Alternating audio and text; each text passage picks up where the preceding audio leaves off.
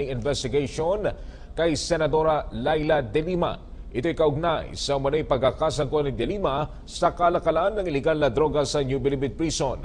Kay Morales, mayroon na silang ilang impormasyon at binibigyan na nila ito ng due course sa pamamagitan ng investigasyon. Anya natura investigasyon ay bunsod na rin ng reklamo ni Albuera Police Chief Jovi Espinido kaugnay sa pagtanggap umano ni De Lima ng payola mula sa suspected drug lord na si Kerwin Espinosa.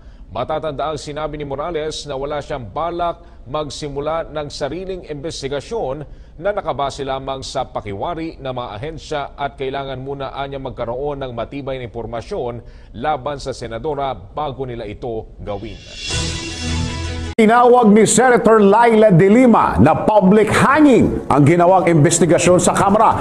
Ayon sa Senadora, makitid ang isip ni House Speaker Pantaleon Alvarez at walang galang sa babae. Para sa kabuong report, ala, panoorin po natin ito. Sumiklab ang word war sa pagitan ni na Senator Laila De Lima at House Speaker Pantaleon Alvarez. Makarang tawagin ito ng kongresista na serial liar. Sa kanilang pagbuelta, tinawag ni De Lima si Alvarez na makitid ang isip at walang galang sa babae. Sa kanyang inilabas na statement kagabi, naglabas din ng sama ng loob si De Lima, makaraang husgahan na siya ni Alvarez bago pa man ang sinasabing in aid of legislation, kuno na pagdinig sa NBP drug trade. Sinabi ng senadora na mismong ang House Speaker ang nagtulak noon para ilabas ang umano'y sex video nila ni Ronnie Dayan. Hindi rin itinatago ng dating Justice Secretary ang sama ng loob sa dating ka-live-in matapos idinetalye nito ang kanilang relasyon at pagsisinungaling hinggil sa pagtanggap ng campaign fund mula sa drug lord na si Kerwin Espinosa. Inilarawan din ito ang ginawang pagdinig ng Senado na may public hanging Ngunit tiniyak nitong balang araw ay haharapin niya ang kanyang mga kritiko.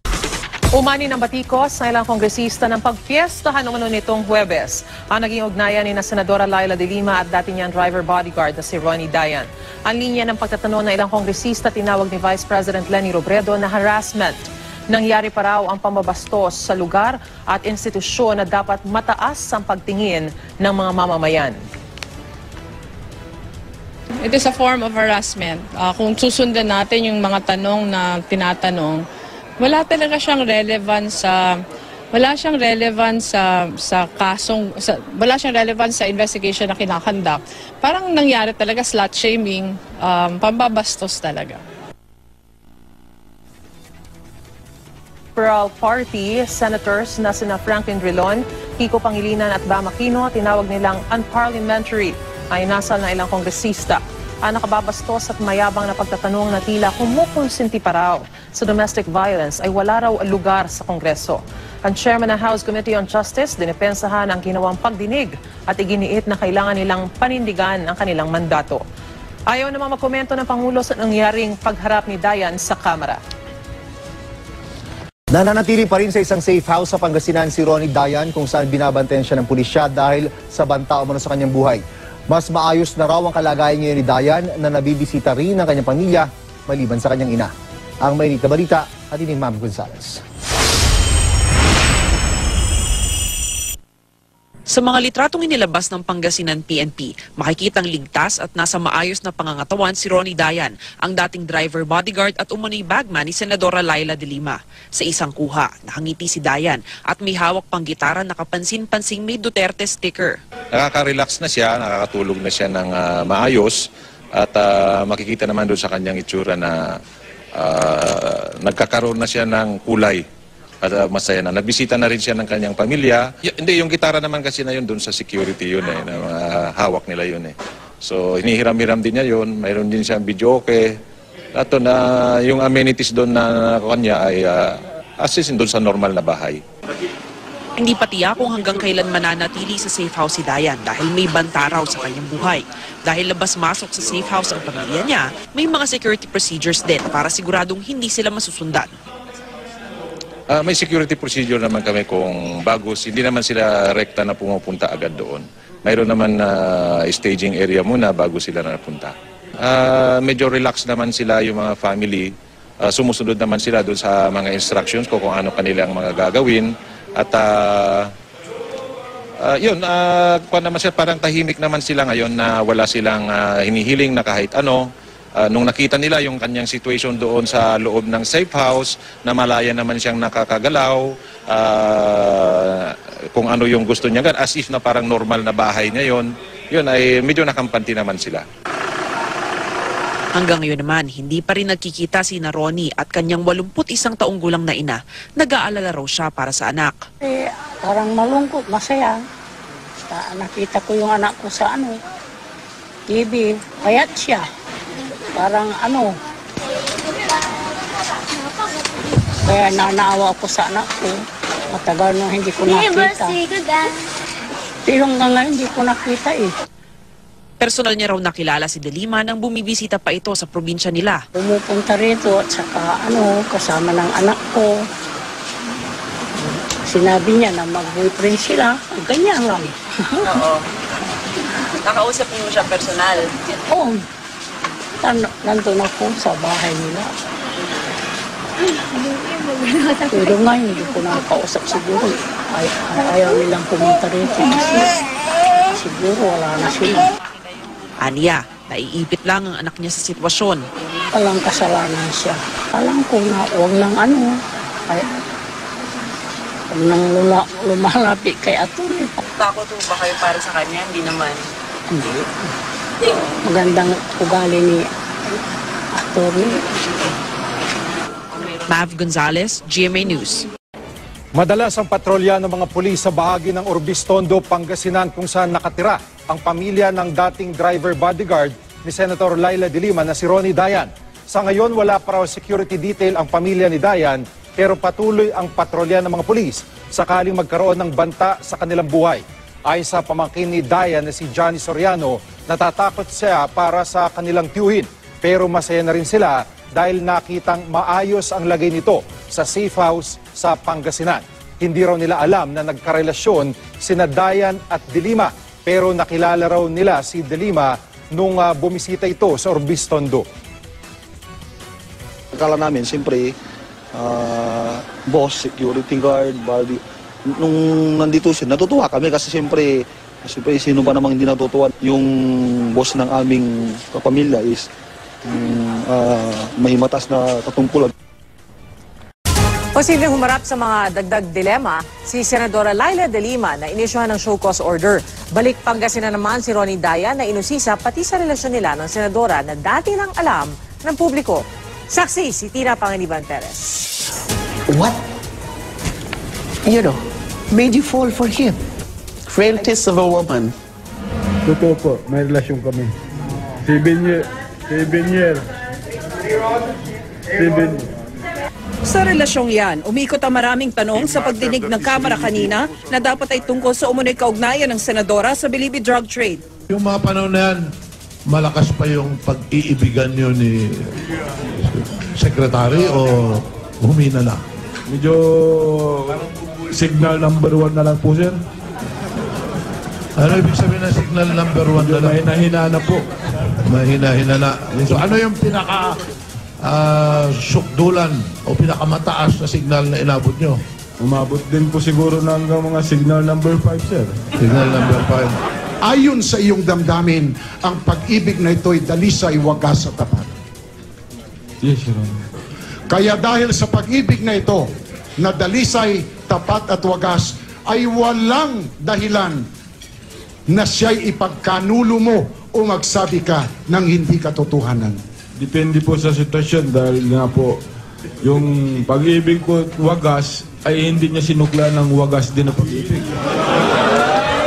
Inusisa ang sex video na sabi ng ilang testigo ay nakita sa cellphone ni Dayan kahit na-establish na ang relasyong gusto sanang patunayan ng pagkakaroon ng video. Hindi po totoo yung may video 6 kami. Wala po akong natatandaan na nagbinidyo ko po habang kami nagsisix. Kung mayroon mang nakakuha, hindi po galing sa cellphone ko yung Naungkat pati drama ng hiwalayang nagsimula bandang huling bahagi ng 2014 hanggang mag-resign si Dayan noong February 2015. Bago pumasok yung 2015, nagka, nagkakalabuan na kami ni ma'am. Kesyo hindi na daw kami masaya sa pagsasama namin. lagi kasing bangayan at laging nag-aaway kami.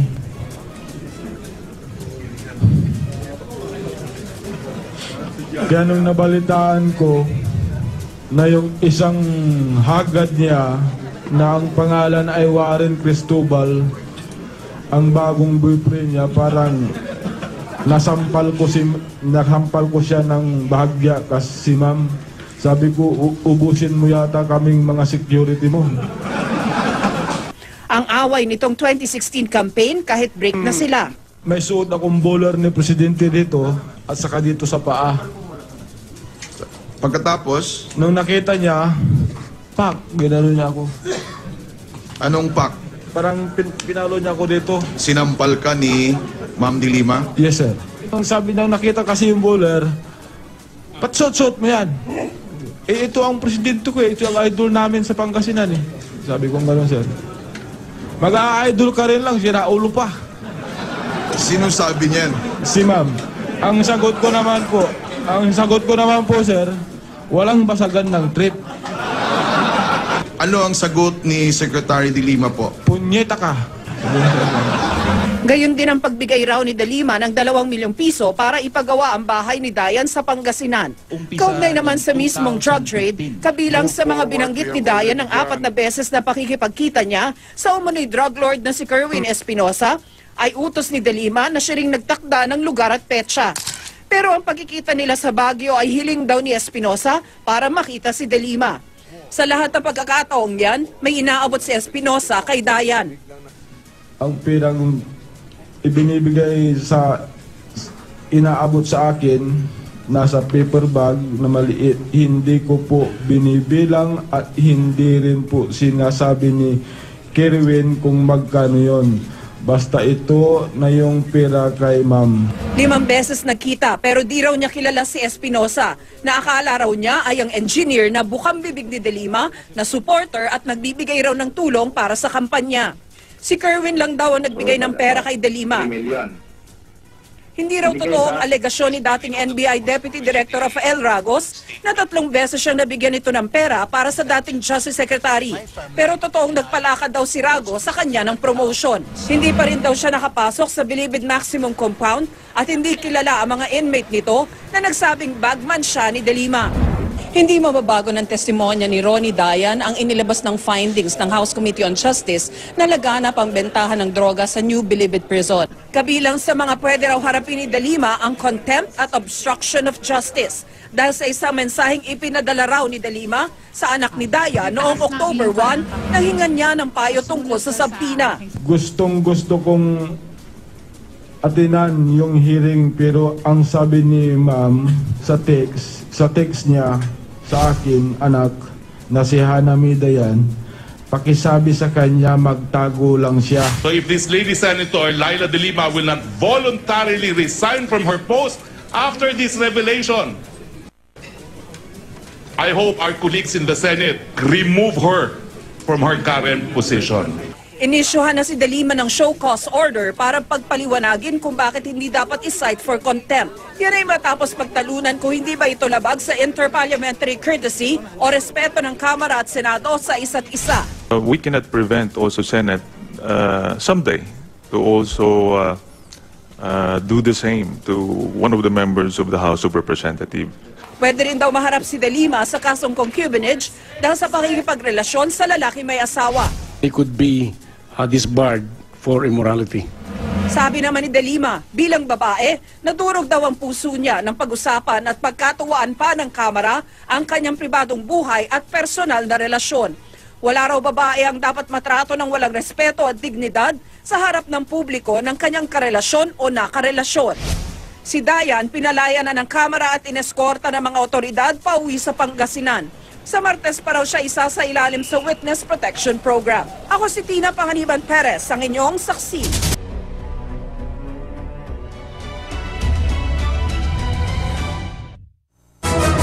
Samantala, maaaring hindi na makita pa ni suspected drug lord Kerwin Espinosa ang kanyang amang si Albuera Mayor Rolando Espinosa bago ito ihatid sa kanyang huling hantungan. matapos na isuggest ito ng sarili nitong abogado para umano sa kaligtasan ng nakababatang Espinosa. Ano ang kanilang mga pangamba? Alamin natin sa ating report. Posibleng hindi makita ni suspected drug lord Kerwin Espinosa ang kanyang amang si Mayor Rolando Espinosa bago ito ihatid sa kanyang huling hantungan. Ito ay dahil hindi pinayagan ni Vice Mayor Jonah John Ungab ng Roda Cebu ang kanyang kliyente na makapunta sa burol at libing ng kanyang ama. Ayon kay Ungab, masyadong mapanganib para kay Kerwin na pumunta sa libing ni Mayor Espinosa sa December 6 dahil baka sapitin din nito ang nangyari sa kanyang ama. Idinagdag ni Ungab na hindi sila nakatitiyak ngayong kung sino ang maaari nilang pagkatiwalaan at nais lang nilang matiyak ang kaligtasan ni Kerwin. Nasa ilalim ngayon ng custody ng PNP si Kerwin sa Camp Crame mula nang maibalik ito sa Abu Dhabi noong nakaraang linggo.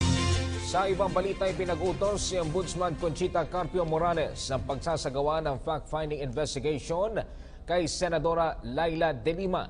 Ito'y kaugnay sa manay pagkakasangko ni De Lima sa kalakalan ng iligal na droga sa New Bilibid Prison. Ayon Morales, mayroon na silang ilang impormasyon at binibigyan na nila ito ng due course sa pamamagitan ng investigasyon. Anya natura investigasyon ay bunsod na rin ng reklamo ni Albuera Police Chief Jovi Espinido kaugnay sa pagtanggap umano ni De Lima ng payola mula sa suspected drug lord na si Kerwin Espinosa. Matatanda ang sinabi ni Morales na wala siyang balak magsimula ng sariling investigasyon na nakabase lamang sa pakiwari ng mga ahensya at kailangan muna anya magkaroon ng matibay na impormasyon laban sa senadora bago nila ito gawin. Here at home, Senator Laila De Lima welcomes the Office of the Ombudsman's investigation on her alleged involvement in the illegal drug trade. Ombudsman Conchita Carpio Morales announced they are conducting a fact-finding investigation based on a case filed against the senator. De Lima is facing allegations of receiving money from big-time drug trader Kerwin Espinosa. De Lima earlier denied her involvement but is open to the investigation in hopes of clearing her record of any wrongdoing. In a statement, De Lima said the Ombudsman's decision to start the investigation is only expected. She says the investigation is a constitutional mandate of the Ombudsman in that she expects no less from the office. She adds Ombudsman Morales has proven her competence, impartiality, and capability in making public officials accountable to the public. Bago pumasok yung 2015, nagka, nagkakalabuan na kami ni ma'am. Kesyo hindi na daw kami masaya sa pagsasama namin. Lagi kasing bangayan at laging nag-aaway kami.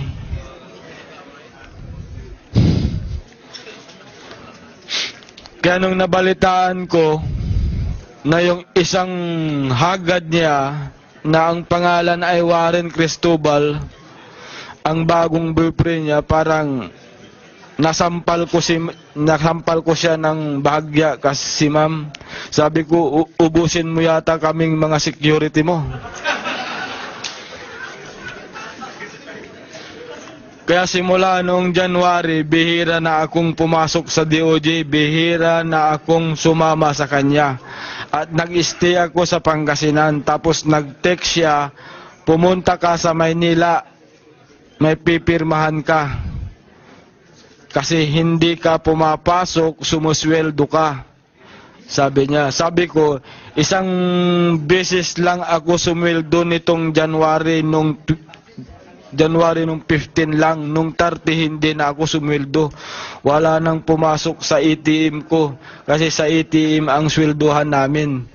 Tapos nung pumunta na ako sa pumunta na ako resignation na.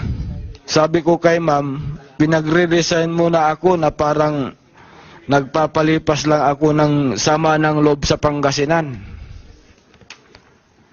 Nakakahiya kasi, sabi niya. At saka tama na rin ito para iwas gulo.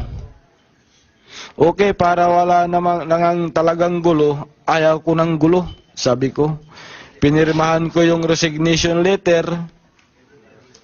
mga katapusan ng February 2015. Kung baga, pinwirsan niya akong mag-resign.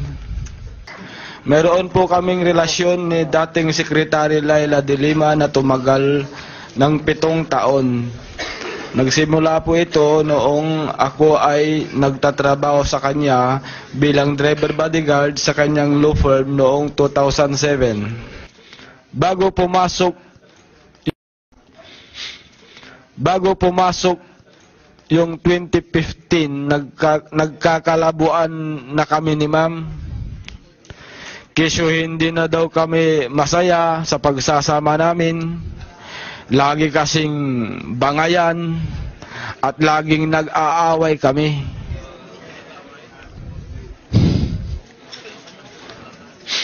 Kaya nung nabalitaan ko na yung isang hagad niya na ang pangalan ay Warren Cristobal, ang bagong boyfriend niya parang nasampal ko si nasampal ko siya ng bahagya kasi si ma'am sabi ko "U- ubusin mo yata kaming mga security mo Kaya simula noong January, bihira na akong pumasok sa DOJ, bihira na akong sumama sa kanya.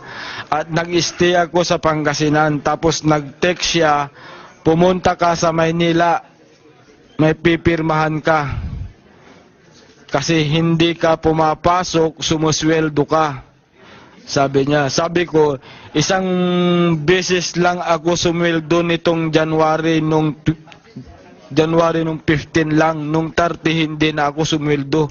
Wala nang pumasok sa ATM ko kasi sa ATM ang sweldohan namin.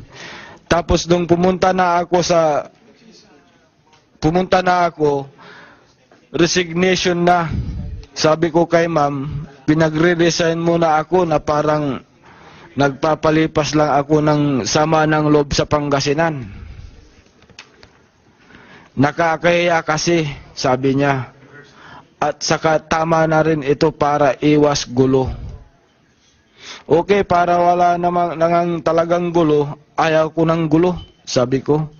Pinirmahan ko yung resignation letter, mga katapusan ng February 2015. Kung baga, pinwirsan niya akong mag-resign. Si Jonel Sanchez po nakilala ko dahil close in security din siya ni ma'am. Hindi ko po kilala si Rodolfo Magleo, si Angel, Alberto Asinas Durano, si Jovencio Ablin, at si Renante Diaz. Si Herbert ko lang ko kilala ko lang po sa pangalan pero hindi ko po hindi ko pa nakilala sa personal, nakikita sa personal. Tungkol naman po sa bahay sa Pangasinan, na regalo daw ni ma'am. Ang totoo ay noong 2007 humingi ako kay ma'am ng 120,000 pambili ng lupa sa pagtayo ng bahay para sa pagtayo ng bahay. Nasa 800,000 ang nanggaling sa ipon ko. At yung 2 million galing kay ma'am. Si Kerwin Espinosa, hindi ko nga alam na drug lord nung nag-aabutan kami. Ang alam ko doon, engineer siya. Kaya sabi ko, ito siguro yung engineer na sinasabi ni ma'am. Pero ang sabi ni ma'am may nagbibigay pa nga ng Starex sa kanya, isang engineer daw, sabi ko sa kanya, bago na naman yung sasakyan ninyo.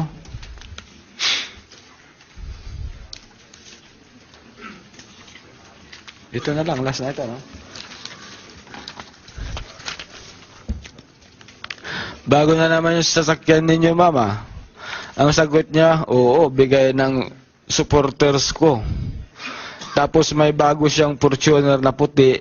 Nung tinanong ko, sabi niya, ay bigay ni engineer yan para kay Senador De Lima. Wala pong nagbibigay ng proteksyon sa akin, wala din pong nagtago sa akin at wala rin pong nagkup-kup sa akin. Basta yung lupa na pinagtayuan ng bahay kubo ko doon ay pag-aari ng tiyuhin ng asawa ng pamangkin ko. Ang naging habulan po namin ng mga pulis ay umabot na ng higit kumulang 15 kilometro. Umabot po ako hanggang bukid kung saan namagana po ang aking mga paa dahil sa arthritis at napaupo na lang po ako. Nagpahuli na talaga ako. Kilala si Attorney Laila De Lima noong nag-apply ako bilang driver security ni ma'am sa law firm, sa law office nila sa Panay Avenue, Quezon City noong taong 2007. Totoo pong nagkaroon kami ng relasyon ni ma'am at nagsimula po ito noong 2000 Nasaan ako? 2007. Mga 2 to 3 months po pa lang ako sa, kan- sa law firm, sa law firm niya, alam po ng pangalawang anak ni ma'am ang aming relasyon. Alam din po ni ma'am na may asawa po ako ng mga panahong iyon. Kasal na po ako since 1991. Noon ako ay nag-apply bilang driver security ni ma'am sa kanyang law firm. Kaya doon siya ay lumipat sa Commission on Human Rights. Noong 2008 ay kasama din ako bilang close in security. Nangungupahan po ako sa BF Road sa may barangay Holy Spirit Commonwealth. Noong panahong iyon, samantalang si ma'am ay sa timog pa nakatira. Nung nasa Commonwealth po ako, nagpupunta-punta na rin siya sa tinitirahan ko, pero madalang lang, tuwing Sunday lang po. Sa Department of Justice, ako rin po ang naging close in security ni Secretary de Lima mula taong 2010. Noong nagsimula na si Senadora de Lima sa DOJ at lumipat na rin na siya ng tirahan sa Paranaque ay nagsimula na po kaming magsama. Meron po akong natanggap na pira mula kay Ker Kerwin Espinosa para kay Secretary de Lima mga five times po. Ang pirang ibinibigay sa inaabot sa akin nasa paper bag na maliit. Hindi ko po binibilang at hindi rin po sinasabi ni Kerwin kung magkano yon. Basta ito na yung pera kay ma'am. Siya mismo ang nag-aabot sa akin. Kinukuha ko, inilalagay ko sa harap ng upuan ng sasakyan. Hindi ko po alam kung magkano yung laman nung binibigay sa akin na paper bag kasi hindi ko lang po sinilip, sinalat ko lang.